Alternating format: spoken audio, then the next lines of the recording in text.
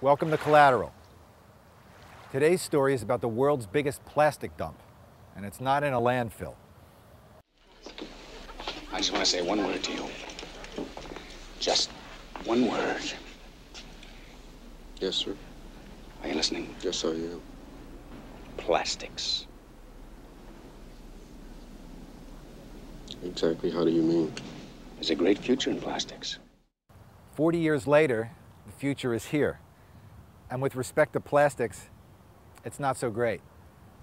In the northeastern Pacific Ocean lies one of the world's great unnatural wonders. It's been dubbed the Great Garbage Patch, a vast swath of ocean littered with plastic debris drawn there by a swirling vortex of currents.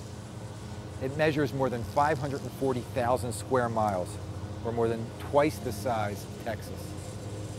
Fish, turtles, birds, and other marine life ingest all sorts of plastic crap near this vast wasteland, which often remains trapped in their bodies until they die. The young are most susceptible, and they frequently die when plastic blocks their digestive tracts.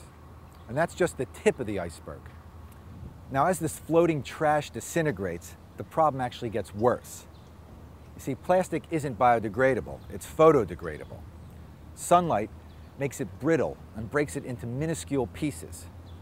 Fish mistake these pieces for plankton, the most important link in the marine food chain. According to one researcher, quote, huge increases in production are making the whole ocean this plastic soup. Every creature in the ocean is eating plastic, end quote.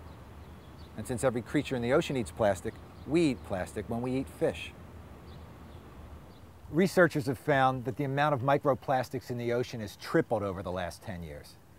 Plastics now account for 90% of all floating marine debris. And there's no known way to remove the microplastic that's already in the ocean. The best we can do is stop adding more crap and improve local pollution control efforts. Those who profit from plastics are trying to dispute the harm that plastics cause. Now, the exact nature of the harm can be endlessly debated and it will be, because debating endlessly is a tactic for maintaining the status quo. But really, even if you leave out the worst health effects, what's to argue about? It's indisputable that humans have created a toxic mess that kills marine life, poisons the ocean environment, all the while it turns it into a toilet. What exactly is the argument for accepting that?